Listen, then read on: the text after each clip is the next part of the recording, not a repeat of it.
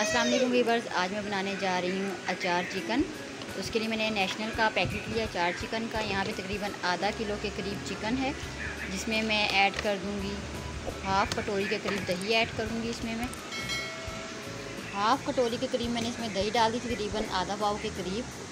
आधा किलो से थोड़ा ज़्यादा चिकन है, तीन पाव है हाफ़ पैकेट डाल दूँगी मैं अचार चिकन का इसमें, और हाफ़ बचा लूँगी, हरी मिर्चों में ऐड करूँगी मसाला उसके लिए मैंने, आधा बचा लिया और आधा मैंने इसमें ऐड कर दिया एक टेबल स्पून लहसुन अदरक का पेस्ट डाला था, इन सब चीज़ों को कर देंगे मिक्स और तकरीबन एक घंटे के लिए मैरिनेट करके फ्रिज में रख देंगे। आप चाहें तो इसमें थोड़े से और स्पाइसेस ऐड कर सकते हैं।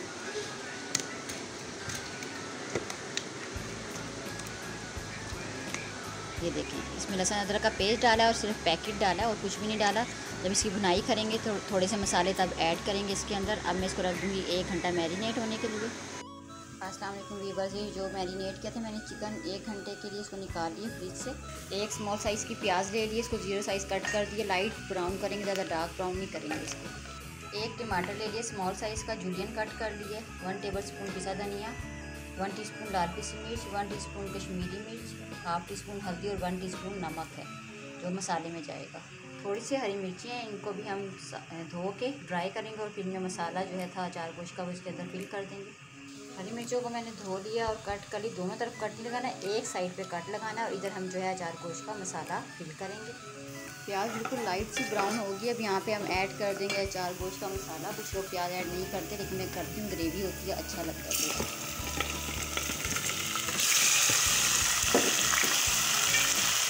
मिक्स कर लेंगे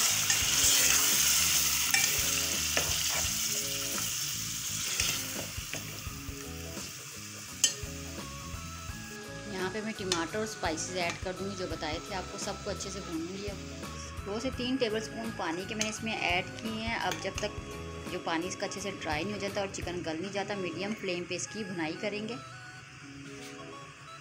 अचार गोश्त के पैकेट में से आधा मसाला बचा लिया था, थोड़ा सा वन टेबल स्पून सिरका ऐड किया, हल्का सा इसको गीला कर लिया अब ये जो मैंने कट लगाया था हरी मिर्चों में, इसके अंदर मैं सारी हरी मिर्चों में मसाला फिल कर दूँगी। मसाला मैंने हरी मिर्चों में फिल कर दिए।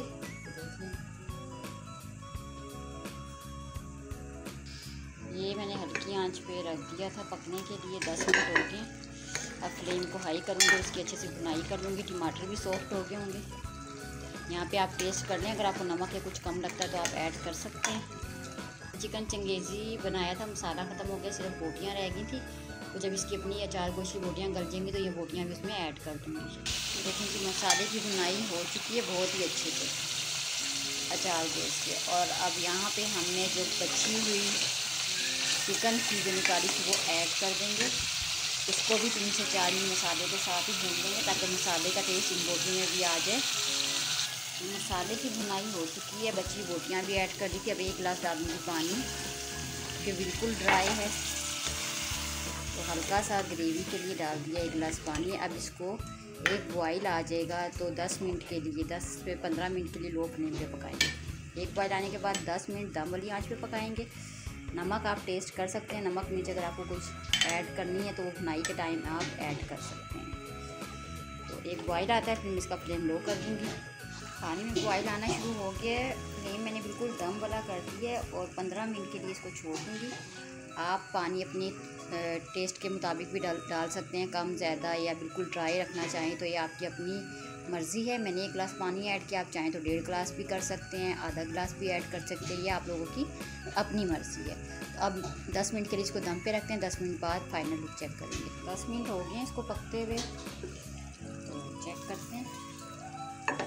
देखें। 10 मिनट हो गए। अब जो हरी मिर्ची मसाला ये मैं भर के रखी थी, वो इसमें हम ऐड कर देंगे। इस तरह से।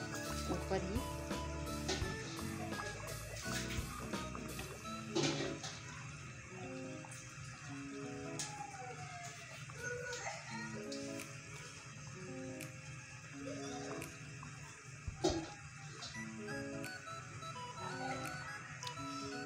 ये देखिए पाँच मिनट के लिए अब इसको दम देंगे दोबारा से।